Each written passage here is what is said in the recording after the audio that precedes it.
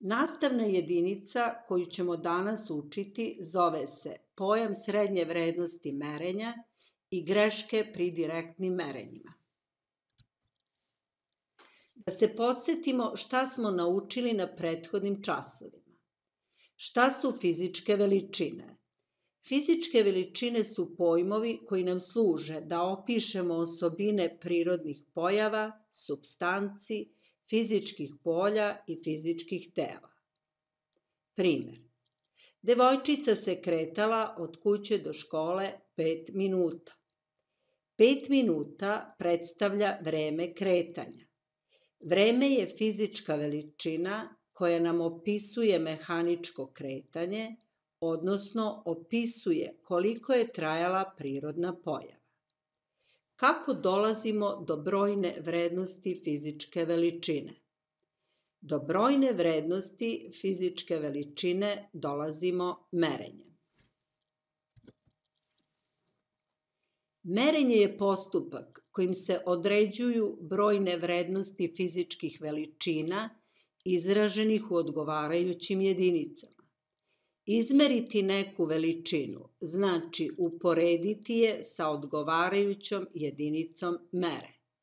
Poređenje se odnosi isključivo na fizičke veličine iste vrste, odnosno istorodne veličine. U našem primeru, kretanje devojčice traje pet puta duže od trajanja jednog minuta. Na prethodnim časovima ste učili da za merenje fizičkih veličina služe merila i merni instrumenti. Merenja mogu biti direktna i indirektna. Da ponovimo. Direktnim merenjem vrednost veličine se čita jednim postupkom direktno sa skale mernog instrumenta. Na primer, direktno se meri zapremina tečnosti menzurom, dužina učionice metarskom trakom. Indirektno merenje koristimo kada ne postoji merilo ili instrument kojim bismo izmerili veličinu. Na primer, ne postoji ni jedan instrument kojim bismo izmerili površinu pravougaonika. Jedini način da odredimo tu veličinu jeste da izmerimo dužinu stranice A i B i da ih onda pomnožimo. Merila su jednostavni uređaji pomoću kojih se direktnim merenjem određuje, odnosno očitava, brojna vrednost fizičkih veličina, kao metarska traka, lenjer, menzura.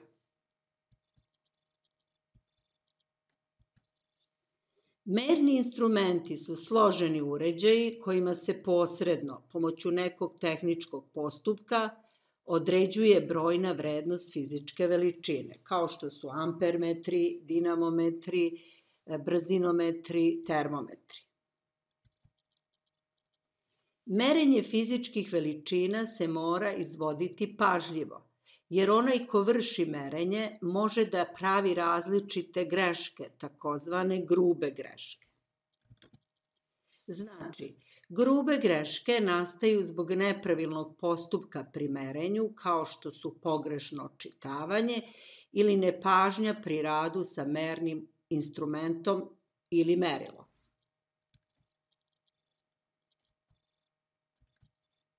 Greške pri merenju nastaju i zbog nesavršenosti ili neispravnosti mernih instrumenta ili zbog prirode same veličine, odnosno njene neodređenosti. Greške mogu biti izazvane i nepovoljnim uslovima pri merenju. Na primer, dok se vrši merenje, dolazi do promene temperature ili promene vlažnosti vazduha ili promene pritiska. Zbog svega navedenog, svaki rezultat merenja je manje ili više pouzdan. Priroda merenja je takva da izmerena fizička veličina ne može biti apsolutno tačna. Postavlja se pitanje šta bi trebalo da radimo da bismo dobili što tačniju vrednost izmerene fizičke veličine. Da bismo dobili što tačniju vrednost izmerene fizičke veličine, moramo da vršimo više merenja i da izračunamo njihovu srednju vrednost. Kako se izračunava srednja vrednost, vidjet ćemo na sledećem primeru. Troje učenika je dobilo zadatak da izmere dužinu učbenika iz fizike pomoću lenjira sa, milimet, sa milimetarskom podelom. Učenici su direktnim merenjem dobili sledeće rezultate. Rezultat prvog učenika označavamo sa L1 i iznosi 20,2 cm. Rezultat drugog učenika označavamo sa L2 i iznosi 20,3 cm. Rezultat trećeg učenika označavamo sa L3 i iznosi 20,7 cm. Srednja vrednost merene veličine dobija se kada se saberu sve izmerene vrednosti i njihov zbir podeli se brojem merenja. Mi smo imali tri merenja, odnosno tri rezultata, znači njihov zbir ćemo podeliti sa tri. Pišemo L srednje je jednako otvorena zagrada L1 plus L2 plus L3 zatvorena zagrada podeljeno sa 3. Sledeći korak. L srednje je jednako otvorena zagrada. Umesto L1 pišemo 20,2 cm plus Umesto L2 pišemo 20,3 cm plus umesto L3 pišemo 20,7 cm zatvorena zagrada podeljeno sa 3. Sledeći korak. L srednje je jednako 61,2 cm podeljeno sa 3 i L srednje iznosi 20,4 cm. Dužina učbenika fizike je najverovatnije 20,4 cm. Zašto kažemo najverovatnije? Najverovatnije jer nikada se ne može tvrditi da je stvarna vrednost veličine jednaka srednjoj vrednosti. Srednja vrednost ponovljenih merenja uzima se kao najpouzdaniji rezultat merenja. Da bismo znali koliko je izračunata srednja vrednost pouzdana, potrebno je odrediti grešku svakog pojedinačnog merenja. Greška predstavlja odstupanje svakog pojedinačnog merenja od srednje vrednosti. Grešku merenja označavamo sa grčkim velikim slovom delta, u našem primeru mi ćemo grešku označiti sa delta L. Na levoj strani da se podsjetimo rezultata merenja, na desnoj strani njihove srednje vrednosti. Vidimo da je prvi rezultat merenja i drugi rezultat merenja manji od srednje vrednosti, a treći rezultat merenja je veći od srednje vrednosti. Pošto je sve jedno da li je pojedinačno merenje veće ili manje od srednje vrednosti, sve jedno je i koji znak ima odstupanje od srednje vrednosti. Zbog toga se greška merenja određuje iz apsolutne vrednosti odstupanja i naziva se apsolutna greška merenja. Sada ćemo da odredimo apsolutnu grešku svakog pojedinačnog merenja. Delta L1 jednako je apsolutna vrednost od L1 manje L srednje jednako. Apsolutna vrednost od 20,2 cm manje 20,4 cm jednako, apsolutna vrednost od minus 0,2 cm je 0,2 cm. Apsolutna greška drugog merenja delta L2 je jednako. Apsolutna vrednost od L2 manje L srednje jednako.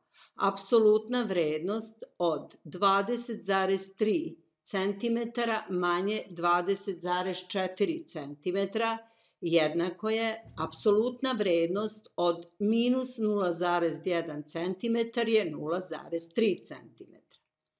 apsolutna greška trećeg merenja, delta L3, jednako je apsolutna vrednost od L3 manje L srednje, jednako apsolutna vrednost od 20,7 cm manje 20,4 cm jednaka je, jednako je apsolutna vrednost od 0,3 cm je 0,3 cm. Najveće odstupanje rezultata od srednje vrednosti je 0,3 cm.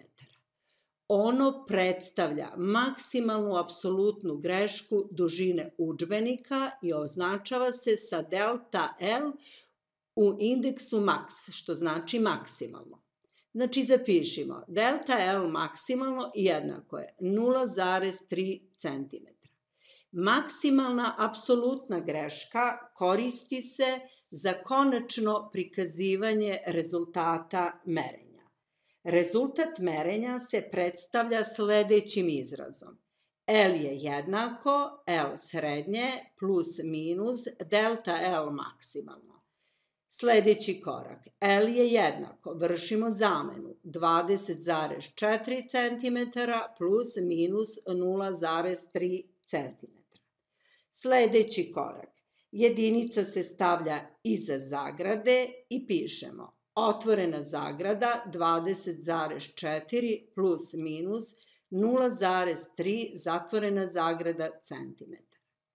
Ovaj izraz predstavlja konačan rezultat merenja. Da objasnimo značenje ovoga što je napisano. Znači, konačan rezultat merenja je L je jednako otvorena zagrada 20,4 plus minus 0,3 zatvorena zagrada centimetra. Kada saberemo srednju vrednost i maksimalnu apsolutnu grešku dobijemo 20,7 cm. Kada od srednje vrednosti oduzmemo maksimalnu apsolutnu grešku, dobijemo 20,1 cm. Šta predstavlja zbir i razlika srednje vrednosti i maksimalne apsolutne greške? 20,1 cm i 20,7 cm predstavljaju granicu intervala u kome se nalazi stvarna vrednost veličine koju merimo, odnosno dužina učbenika. Stvarna dužina učbenika je između 20,1 cm i 20,7 cm. Na kraju možemo reći Stvarna dužina učbenika je u intervalu od 20,1 cm do 20,7 cm, a najverovatnija dužina učbenika je 20,4 cm. Odredili smo srednju vrednost učbenika i maksimalnu apsolutnu grešku i sada možemo da procenimo koliko je naše merenje precizno, tačno, odnosno kvalitetno. Za ocenu kvaliteta merenja koristi se relativna greška koja je jednaka količniku maksimalne apsolutne greške i srednje vrednosti veličine. Relativna greška se obeležava sa malim grčkim slovom delta – Znači u našem primeru delta L jednako je delta L maksimalno kroz L srednje. Sledeći korak. Delta L je jednako. Izvršimo zamenu 0,3 cm podeljeno sa 20,4 cm. Centimetar podeljeno sa centimetar je 1 i zato se centimetri krate, a kada se 0,3 podeli se 20,4, dobijemo 0,015.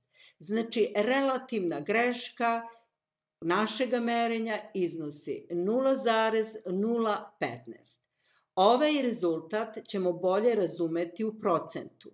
Znači 0,015 puta 100 procenata iznosi 1,5 procenata. Znači relativna greška našeg merenja je 1,5%. Ali možemo i ovako posmatrati dobijeni rezultat. Srednja vrednost dužine udžbenika 20,4 cm, koja je uzeta za rezultat merenja, je 98,5% pouzdana i tačna. Navedeni postupak određivanja apsolutne i relativne greške važi kada se vrši samo direktno merenje. Pretpostavimo da su sva tri učenika dobila isti rezultat pri merenju, odnosno istu brojnu vrednost.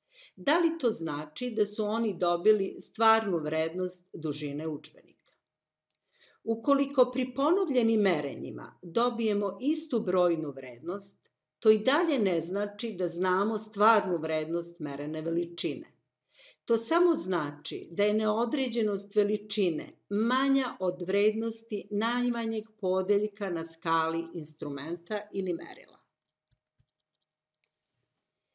Kako se zapisuje rezultat merenja i određuje relativna greška kada su rezultati merenja isti ili se izvrši jedno merenje? To ćemo objasniti na sledećem primeru. Četiri učenika očitavaju zaprimljenu tečnosti u menzuri i svi dobijaju isti rezultat, 20 cm kubnih. Najmanja vrednost podeljka na menzuri je 1 cm kubni. Pravilo. Ukoliko pri ponovljenim merenjima dobijemo istu brojnu vrednost, za maksimalnu apsolutnu grešku uzima se vrednost najmanjeg podeljka na skali instrumenta, odnosno merila. U zadatku je rečeno da je najmanje vrednost podeljka na menzuri 1 cm kubni, znači da je maksimalna apsolutna greška u ovom našem primeru 1 cm kubni. To zapisujemo. Delta V maksimalno je 1 cm kubni. Četiri učenika su dobili isti rezultat merenja, nećemo ih pisati pojedinačno, već ćemo zapisati njihov rezultat V je jednako 20 cm kubnih. Sada možemo zapisati rezultat merenja. V je jednako V plus minus delta V maksimalno. Sledeći korak. V je jednako otvorena zagrada 20 plus minus 1 zatvorena zagrada puta centimetar kubni. Relativna greška se izračunava tako što se vrednost najmanjeg podeljka na skali instrumenta podeli sa rezultatom merenja. U našem primeru relativna greška delta V jednako je 1 cm kubni podeljeno sa 20 cm kubnih. Centimetri kubni i centimetri kubni se skrate. 1 podeljeno sa 20 je 0,05. Kada pomnožimo sa 100 procenata, dobijemo da je relativna greška 5 procenata. Znači da je rezultat merenja 95 procenata pouzdan i tačan. Da ponovimo šta smo učili danas. Priroda merenja je takva da izmerena fizička veličina ne može biti apsolutno tačna zbog grešaka koje mogu nastati prilikom merenja.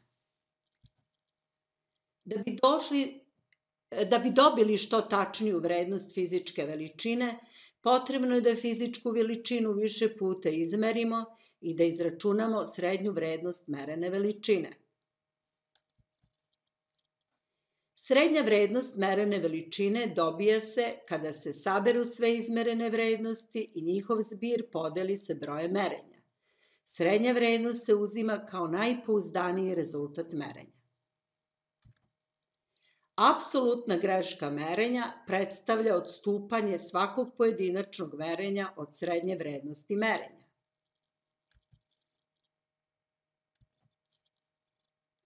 Maksimalno odstupanje, odnosno maksimalna apsolutna greška se koristi za, zapisa, za zapisivanje konačnog rezultata. Za ocenu kvaliteta merenja koristi se relativna greška, koja je jednako, jednaka količniku maksimalne apsolutne greške i srednje vrednosti veličine. Kada se dobiju isti rezultati, onda se relativna greška izračunava tako što se vrednost najmanjeg podeljka na mernoj skali podeli sa rezultatom merenja. Za sva merenja čija je relativna greška manja od 10%, kažemo da su to merenja sa velikom tačnošću. I na kraju, pred vama se nalazi domaći zadatak. Učenik želi da odredi visinu snega u svom dvorištu. On koristi metar sa milimetarskom podelom i na nekoliko mesta meri dubinu snega. Dobio je sledeće vrednosti merenja. 32,7 cm, 34,5 cm, 34,9 cm, 35,9 cm i 37,0 cm. Izračunati srednju vrednost merenja. Vidimo ovde da je dečak imao pet merenja, znači pet rezultata, sabraćete pet rezultata i naravno podeliti sa pet. Izračunati maksimalnu apsolutnu grešku merenja. Za svako pojedinačno merenje nađete apsolutnu grešku, a maksimalna apsolutna greška je najveće odstupanje. Zatim prikažite rezultat merenja, i na kraju odredite relativnu grešku merenja. Nadam se da ćete domaći zadatak uraditi. Do sledećeg časa. Doviđenja.